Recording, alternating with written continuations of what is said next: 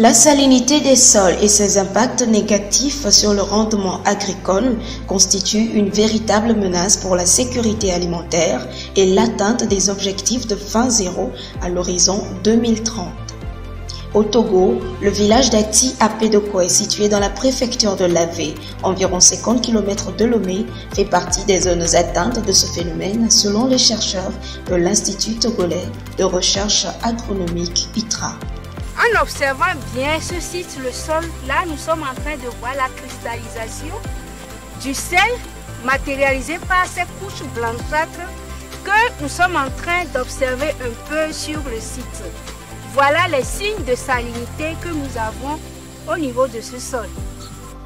Au profit des petits producteurs des zones affectées par la salinité en Afrique subsaharienne et en particulier les femmes, le Centre international pour l'agriculture biosaline, ICBA, a initié un projet dénommé Amélioration de la résilience agricole à la salinité par le développement et la promotion des technologies adaptées aux producteurs vulnérables, RISAD.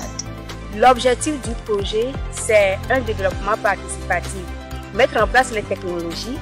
La population va copier les technologies que nous sommes en train de mettre en place par rapport aux cultures que nous allons développer et ça, ils vont en même temps recopier sur le site.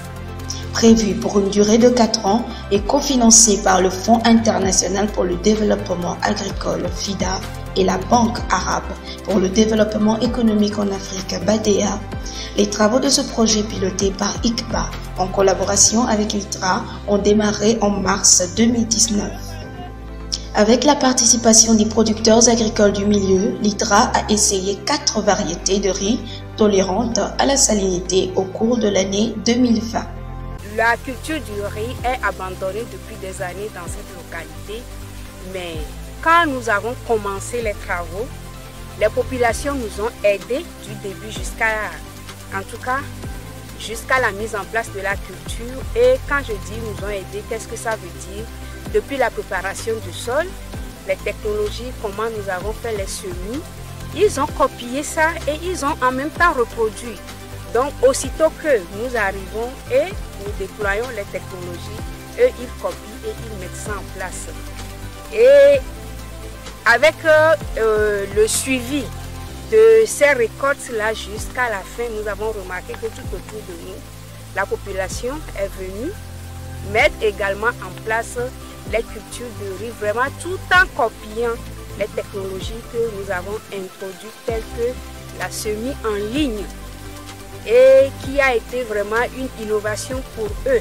Mais au-delà de ce que nous, nous avons fait, la culture de riz en ligne, ils ont commencé par l'appliquer même à d'autres cultures parce qu'ils voient qu'en utilisant cette technologie, ils ont plus de productivité que la semis à la volée que même ils avaient l'habitude de faire. Pour avoir été associés de bout en bout et au vu des résultats, les populations sont disposées à adopter les bonnes pratiques agricoles de l'ITRA en attendant les variétés tolérantes à la salinité.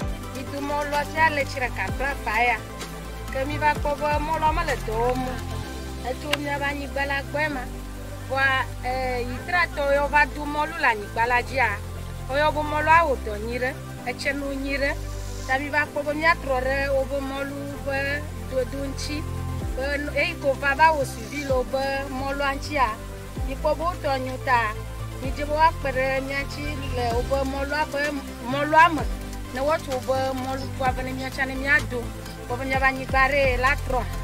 tsã ɖe mi wuna mɔlua ne mi wune ke etratɔ va va va fia ŋutsu ŋuti ke va fia ŋutsu ŋutia edzɔ dzi ne mi. Ta miatse mi tsa agba bena mi va xa anyigba vɔ yi ke vɔ mi va do bui ke mi va via mɔlua mi via mɔlua vɔ la mi da ka mi dui ɖe fli dzi mi dui ɖe fli dzi mi kpɔ bena eyi wòtsia hasina alo tsetsea sugbɔ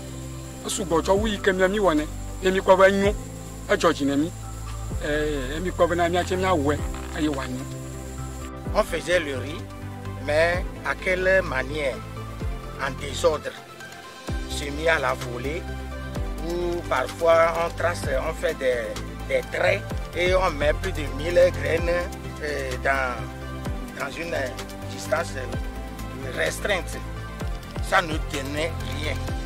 Mais avec l'arrivée de l'ITRA, on a constaté que l'ITRA a vraiment fait un champ qui a démontré eh, les semis. D'abord, ce n'est plus semis à la volée, mais en ligne et respectueux 20 cm entre les, les plants et un plan par bouquet. C'est ce que nous avions vu. Et on a vu que avec ça, ça a bien réussi, ça a bien donné. Si vous voyez à côté de nous, à ma gauche, vous allez constater que nous avons une parcelle là-bas où on a pratiqué l'ancien système qui fait qu'on ne peut pas marcher dedans. Il y a des herbes qui sont poussées dedans, on ne peut pas les enlever. Pour atteindre ces objectifs, le projet RESAD a prévu un certain nombre d'infrastructures, dont certains sont en cours de réalisation sur le site d'Ati à Pédokoué. Les populations d'Ati à Pédokoué et les autres bénéficiaires du projet RESAD espèrent vivement que l'ITRA et ses partenaires sauront mettre à leur disposition des variétés tolérantes à la salinité en vue de mieux vivre de leur activité agricole.